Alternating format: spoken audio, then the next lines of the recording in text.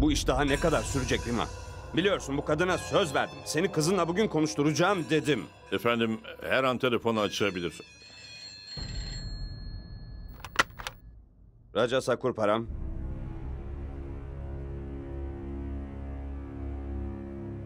Nandini merhaba. Nandini. Ara sıra aileni ara da iyi misin bilelim. Habersiz bırakma bizi. Evet doğru duymuşsun. Bu yıl gelin olarak Parvati'miz seçildi. Evet. Ha, Bir dakika. Bekle annenle de konuşturayım.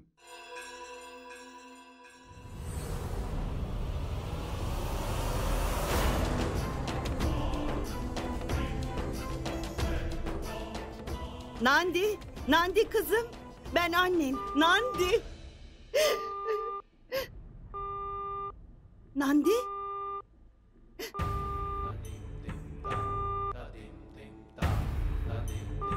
Kızım, Alo? Hatta bir sorun oldu galiba. Öyle çabuk düzeleceğini de sanmam. Sen istersen yarın konuş onunla.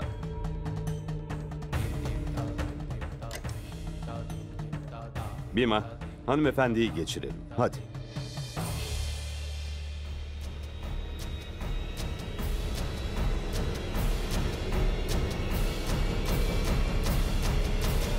Telefonu sen kapattın gördüm.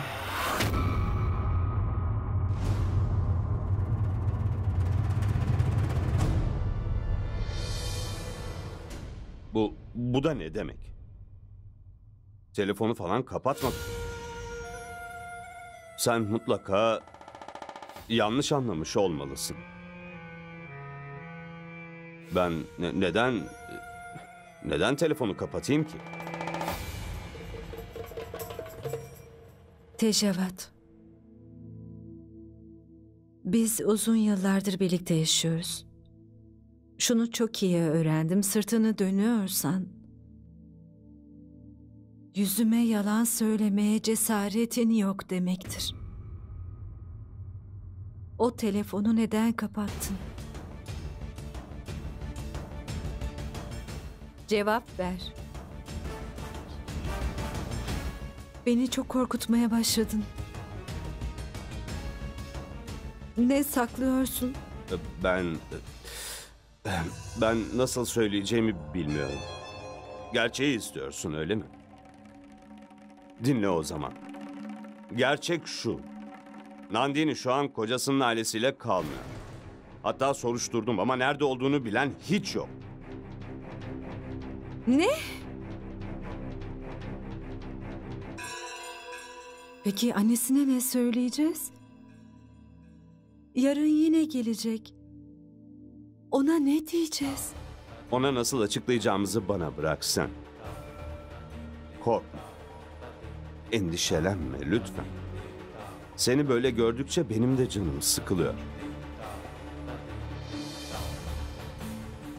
Ona gerçekten çok acıyorum. Önce kızı gibi gördüğü paro gitti. Şimdi de gerçek kızı yok.